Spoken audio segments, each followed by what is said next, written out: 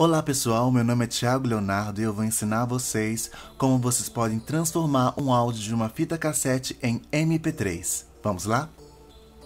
Primeiramente, no seu aparelho de som, pegue a fita cassete que você possui. Abra e coloque dentro do compartimento para fitas. Feche.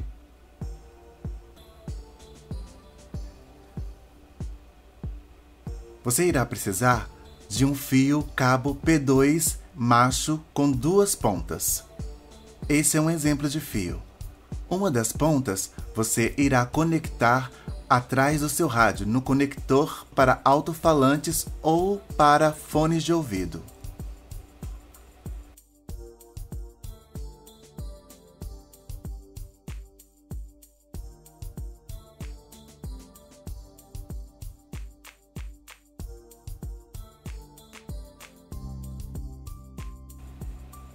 O outro conector você irá usar com esse aparelho. É um adaptador para fios P2 ou adaptador P10. Você vai conectar o fio no adaptador P10. Se você tiver uma interface ou mesa como eu, você irá seguir os seguintes passos.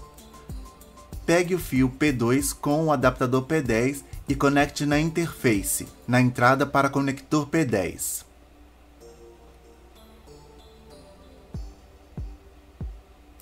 Certifique-se de que a sua interface ou a sua mesa está gravando todas as entradas, estéreo. Se você usa o computador, pegue o conector P2 sem necessidade do adaptador P10 e conecte na entrada de áudio, geralmente rosa, a mesma entrada para microfones. Então, abra o seu editor de áudio. No caso, eu estou utilizando o Adobe Audition 1.5. Clique em Record, gravar no Adobe Audition 1.5. Depois, retorne até o seu rádio e dê play na fita. Volte ao computador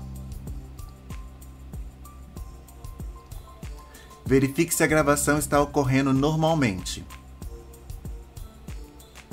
Quando terminar a gravação, aperte Stop. Depois, para salvar, é só ir em File, Export, Áudio, Nomear, escolher o local para salvar